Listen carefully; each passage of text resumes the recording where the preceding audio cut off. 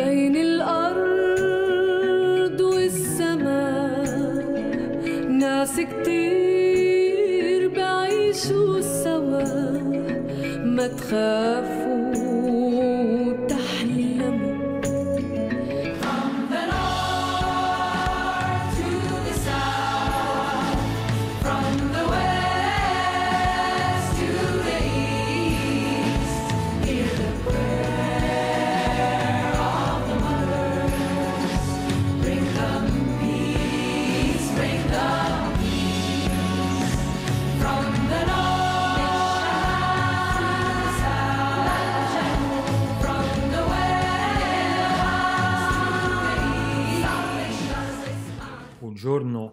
tutte e a tutti. In questo nuovo video commentiamo il Salmo 125, il sesto Salmo delle Salite, il primo della seconda serie dei Salmi delle Salite.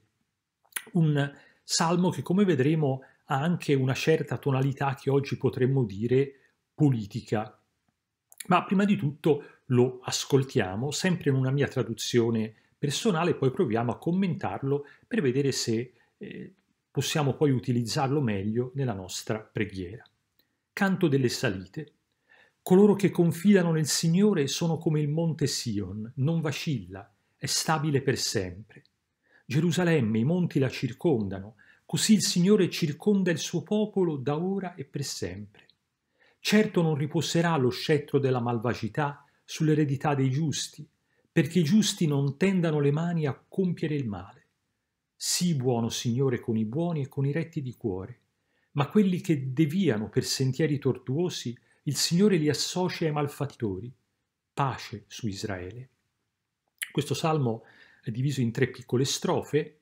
Nella prima strofa il salmista contempla la città di Gerusalemme, immagina di essere ormai arrivato lì e se voi andate a Gerusalemme vi accorgete che il monte del Tempio, pur essendo un colle, una collina, è il più basso dei monti che lo circondano e dunque circondato a sua volta da altri monti un po' più alti di lui.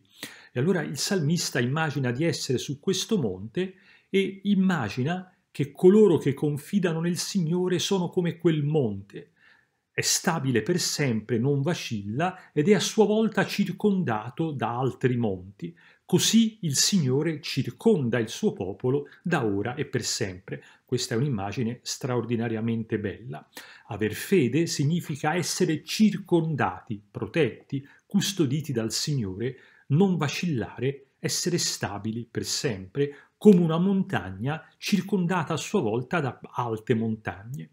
E questa montagna è la montagna dove sorge il Tempio. Dunque c'è una geografia reale che diventa una geografia simbolica. Nel Salterio il Monte Sion è citato spesso, se volete potete leggere per esempio il Salmo 46, il Salmo 48 e ritrovare questa idea. Nella seconda strofa, i versetti 3 e 4, il salmista passa a un'altra immagine e immagina lo scettro della malvagità.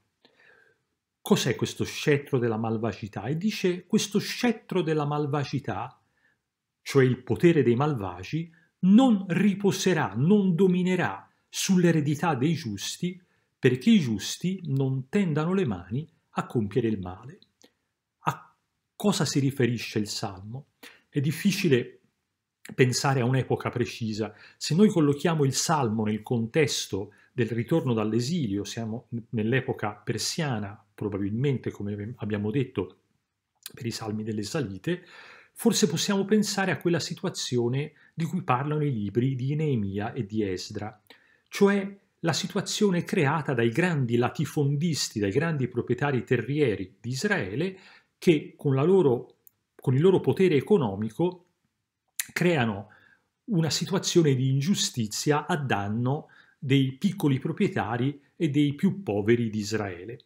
E così lo scettro dei malvagi, del potere dei grandi proprietari, dei ricchi, pesa sull'eredità dei giusti. Ora il termine eredità è preso dal vocabolario del Deuteronomio, è il termine con cui la Bibbia indica la terra promessa che il Signore dà in eredità a tutto Israele. L'idea è che la terra è di tutti, o meglio, è del Signore, e il Signore la dà a tutto il popolo. Dunque nessuno può dire la terra è veramente mia, la terra è per tutti, ovvero ognuno deve possedere quella parte di terra che gli permette di vivere. Cosa succede invece? Che qualcuno prende tutto e qualcuno non ha niente. E dunque il salmista dice Signore fa qualcosa, perché altrimenti i poveri hanno la tentazione di farsi giustizia da sé, perché i giusti non tendano le mani a compiere il male. Crea dunque una giustizia nel mondo per cui i malvagi la smettano di essere prepotenti a danno dei poveri.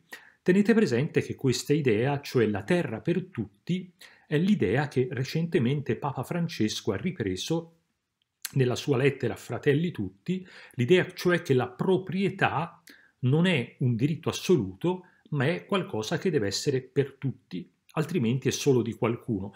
Un'idea che già sosteneva Paolo VI nella Populorum Progressio e sia Paolo VI che Francesco sono stati accusati per questo e ancora lo sono di comunismo, niente di meno. È l'idea che in fondo la Bibbia sostiene fin dagli atti degli Apostoli e la tradizione della dottrina sociale della Chiesa sosteneva fin dai tempi di Tommaso d'Aquino, ma è, è chiaro che quando si tocca il tema della proprietà, anche i buoni cristiani eh, eh saltano in aria come colpiti da un fulmine e si sentono toccati sul vivo.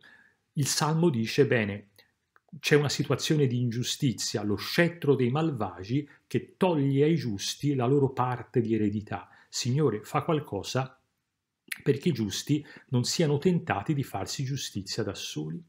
E poi il Salmo termina chiedendo che il Signore sia buono con i buoni e sia invece, punisca invece, associ ai malfattori coloro che vanno per sentieri tortuosi. E il Salmo termina chiedendo pace per Israele, con questa bella affermazione pace su Israele. Il Salmo dunque si chiude sull'immagine delle due vie. Il Signore sia dalla parte dei buoni, mentre mandi in rovina la via dei malvagi. È un tema che apre il salterio fin dal Salmo 1. Il Signore conosce la via dei giusti, mentre la via dei malvagi va in rovina. Chiediamoci se questo è sempre vero, se cioè aver fiducia nel Signore porta alla fine al successo, mentre comportarsi male porta alla fine al, all'insuccesso. Il salmista ne è convinto e in questo riprende la teologia del salmo precedente, il salmo 124, se non fosse il Signore che era stato per noi, lo dica Israele, ricordate il salmo che abbiamo già commentato. Il salmo è animato da questa profonda fiducia nel Signore, che cioè l'aver fiducia nel Signore e il comportarsi rettamente porta al successo, mentre la malvagità porta all'insuccesso, che l'ingiustizia non paga e che il Signore interverrà anche in questa vita a favore dei giusti e a danno dei malvagi. Noi sappiamo che le cose non vanno sempre così e che quindi il Salmo da un certo punto di vista è ideale, ma non sempre la realtà va in questa direzione. Tuttavia il Salmo spinge il credente all'ottimismo, alla fiducia e a un impegno concreto nei confronti della giustizia, anche da un punto di vista politico e sociale. E il Salmo si chiude ritornando all'idea della pace che abbiamo visto percorrere buona parte dei salmi delle salite. Ricordate, domandate pace per Gerusalemme, il Salmo 122, e qui pace su Israele. Una, un'idea che riprenderà Paolo nella lettera ai Galati, alla fine della lettera ai Galati sia pace e misericordia su tutto l'Israele di Dio. Un'idea che ritroveremo anche più avanti nei salmi delle salite, nel Salmo 128. Vi accorgerete che questi salmi sono come una collana di piccole perle legata tra loro da frasi e da temi che si ripetono, quello della pace, quello del, di Gerusalemme, anche il tema della malvagità e dei malvagi, una serie di temi che si richiamano e che si legano tra loro, il tema della fiducia nel Signore. Lo rileggiamo a conclusione di questa piccola riflessione e ci chiediamo se questa fiducia e questo stimolo alla giustizia sociale e anche all'ideale della pace sia per noi una realtà o piuttosto un'utopia. Canto delle salite. Coloro che confidano nel Signore sono come il monte Sion, non vacilla, è stabile per sempre. Gerusalemme, i monti la circondano, così il Signore circonda il suo popolo da ora e per sempre. Certo non riposerà lo scettro della malvagità sull'eredità dei giusti, perché i giusti non tendano le mani a compiere il male. Sii buono, Signore, con i buoni e con i retti di cuore, ma quelli che deviano per sentieri tortuosi il Signore li associ ai malfattori. Pace su Israele.